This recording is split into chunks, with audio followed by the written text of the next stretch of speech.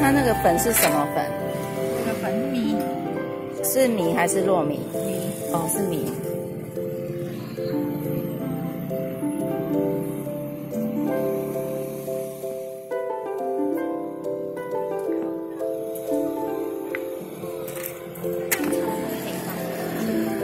常温课放到明天，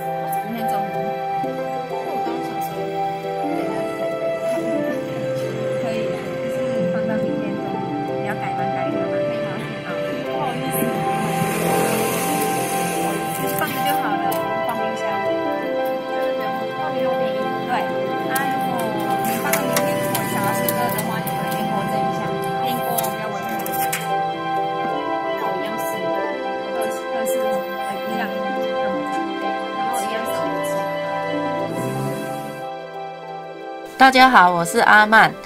今天很特别，我们要来介绍一个金榜题名状元糕。这个是芝麻馅的，然后它的整体就是这样子，大家看一下哦。其实我觉得它有点像白色的香菇。那有人说它像状元帽，我是没看过状元帽，所以我没有办法告诉你它到底是不是。不过它叫状元糕，这是确切的。好。为什么它叫做金榜题名状元糕呢？那说起来，它也是有一个故事啊。那就是从前有一个举人，他在那个京城里面考试啊，然后就当然就住在那边嘛，那也要生活啊，就没钱了。然后他还挺聪明的呢，他就想到说，哎，我们用个米呀，把它磨成粉，然后装在竹筒里面呢，然后把它拿去蒸熟了。然后蒸熟了以后呢，他就拿去街上卖，结果哎反应还不错哎，然后当然啦、他就因为反应不错，他也有了盘缠呐。那接下来他也就顺利的考到了状元了，然后他就衣锦还乡嘛。那有一次皇帝他就为虎出巡，然后他就把这这个甜品献给了皇上品尝。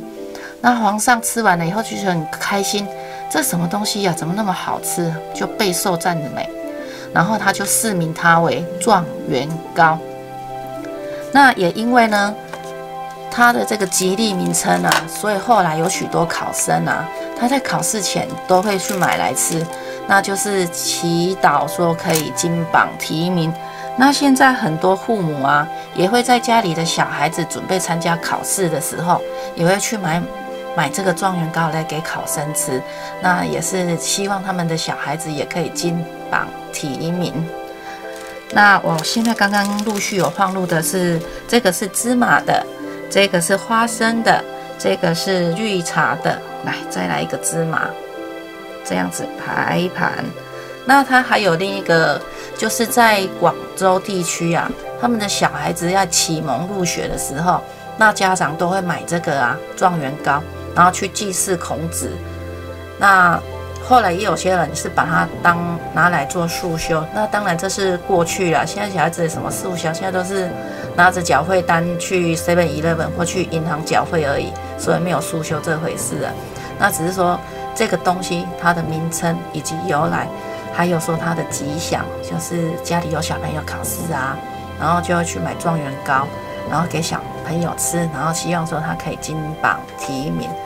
那对于说这个东西呢，对阿曼来讲是颇有感情的，因为以前我爸爸他非常的喜欢吃，那他也时常买回家来给我们吃。只是那时候我是小孩子，对这东西说实在没有什么印象，但我只知道说它有一股米的香味，非常香。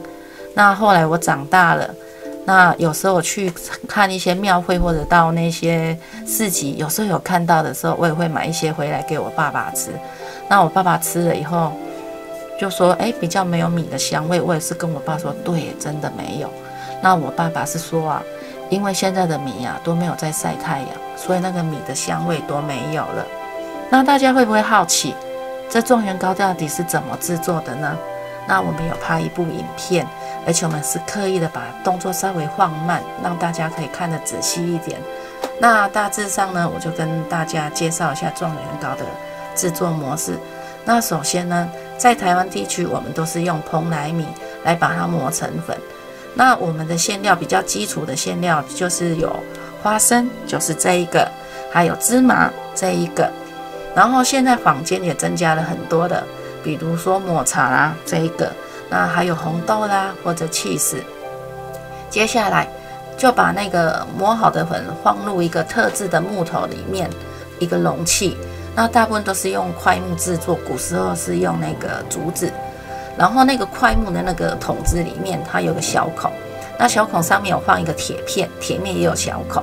然后这样子再把那个呃蓬莱米粉，把它先倒一些到桶内，中间再塞入一些馅料，然后再倒一些些粉铺平，然后再把一些刚刚我们比如说馅料是用芝麻的，它就在那个铺平的粉上面再稍微放了一层小芝麻的那个粉。这样子再蒸好以后，在摆盘上就可以知道说，哎，这是什么的口味。那接下来我们就不多说了，影片比较完整了。好，祝大家金榜题名。